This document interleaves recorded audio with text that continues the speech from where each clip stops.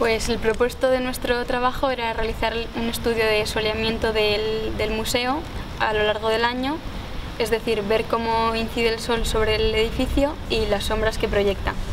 Eh, para ello nos hemos basado en coger cuatro días del año, el solsticio de verano, solsticio de invierno, el equinoccio de septiembre y por último un cuarto día en abril para completar el estudio, ya que el sol en los dos equinoccios se encuentra en la misma posición. Ello eh, nos hemos basado y hemos tenido como referencia trabajos de otros años de otros alumnos. En cada día analizamos cuatro horas diferentes, las 9, las 12, las 3 y las 6.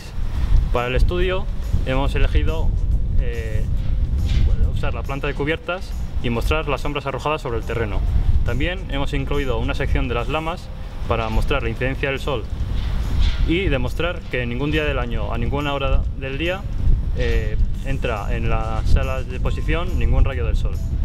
También hemos incluido un pequeño esquema de la posición, altura y ángulo del sol en cada día del año.